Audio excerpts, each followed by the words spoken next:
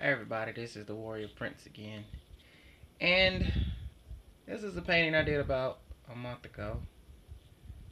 Um, it's in pastel, soft pastel. It's on a higher grade pastel paper.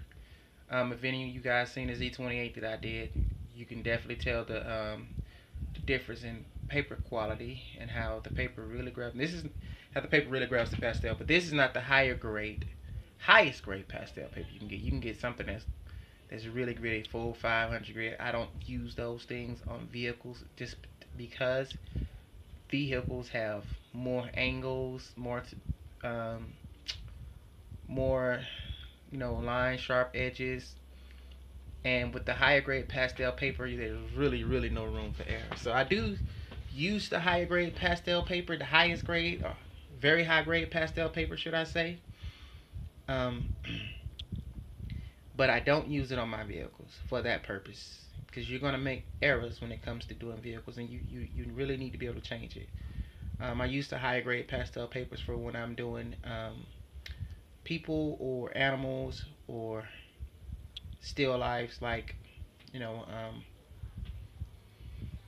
um, um, just different still lives like fruit and whatnot like that. So. Which I'm probably gonna do one for my wife, a still life for my wife very soon.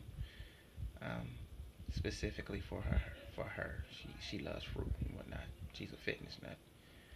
Um, so yeah, this is a Corvette, um, new Corvette Stingray Z51 package. Um, I found this picture online. I'm not too fond of using photos online. Like I said, you have to change something or you can get in trouble for plagiarism for using different people's photos and stuff. So um, this is one of those ones I didn't really change a lot, um, but um, you really want to, you really don't want to do that. Um, you really don't want to do that. But anyway, um, this is actually one of my favorites. Um, I really like how the car came out.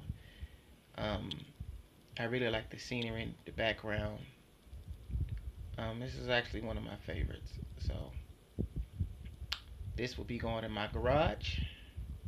Well, copy it would be going in my garage. But um, tell me what you guys think about this.